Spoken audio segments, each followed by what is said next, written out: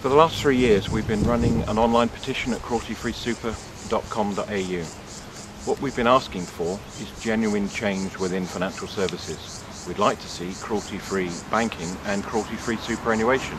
What that actually means is that we'd like to see people given the choice not to have their money used to support animal exploitation, human rights abuse, environmental damage and the worst of climate change.